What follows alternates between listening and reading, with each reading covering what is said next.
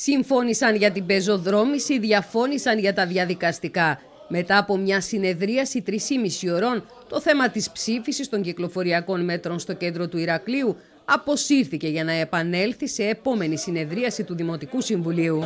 Είναι σήμερα Τετάρτη. Μέχρι την άλλη Τρίτη θα πρέπει να έχει κάνει.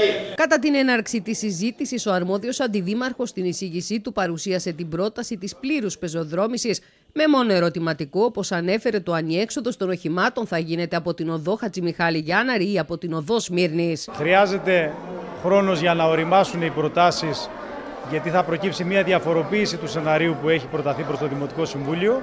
Και αυτό που συμφωνήσαμε σήμερα είναι να γράψουμε μια κοινή πρόταση ώστε σε μια επόμενη συνεδρία του Δημοτικού Συμβουλίου να ληφθεί μια απόφαση ή δυνατόν και ομόφωνη. Οι παρατάξεις της αντιπολίτευσης αντέδρασαν καθώς η εισήγηση που οι σύμβουλοι είχαν στα χέρια τους δεν περιελάμβανε τις αλλαγές στη μελέτη που τέθηκαν προς συζήτηση. Σήμερα λοιπόν πρόχειρα μας φέρνουν μια εισήγηση από την Επιτροπή Ποιότητας Ζωής και κατά τη διάρκεια της συζήτησης μας κάνουν μια άλλη πρόταση. Καταλαβαίνετε ότι αυτό πρέπει να μελετηθεί, να το δούμε στην πραγματική του διάσταση και να τονίσω ευθύ εξ αρχής, πραγματικά εμείς είμαστε υπέρ της βιώσιμης κινητικότητας, είμαστε υπέρ των πεζοδρόμων, αλλά είμαστε και υπέρ της ολιστικής προσέγγισης να εξυπηρετούνται οι λειτουργίες της πόλης για να μην έχει στο σημείο να νεκρώσει το κέντρο. Παρότι η Δημοτική Αρχή από την αρχή έλεγε ότι δεν θέλω τη δικαιοσύνη πεζόδρομο, αλλά την κατασκευάζω για να περνάνε αυτοκίνητα και αυτό ψηφίσανε.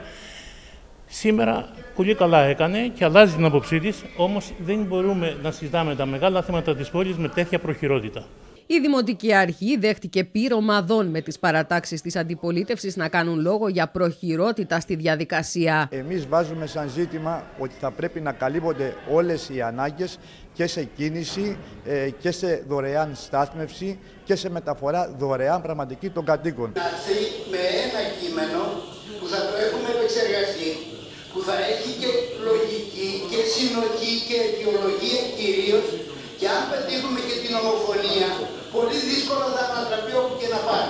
Ολοκληρωμένη πρόταση για απόφαση και όχι παρουσίαση προτάσεων όπου εμείς θα πρέπει να ψηφίσουμε, να πατρέψουμε, να διορθώσουμε. Άλλα έλεγε η Επιτροπή Ποιότητας και η εισήγησης που είχαμε στα χέρια μας και άλλα πρότεινε ο Αντιδήμαρχος Τεχνικών Έργων.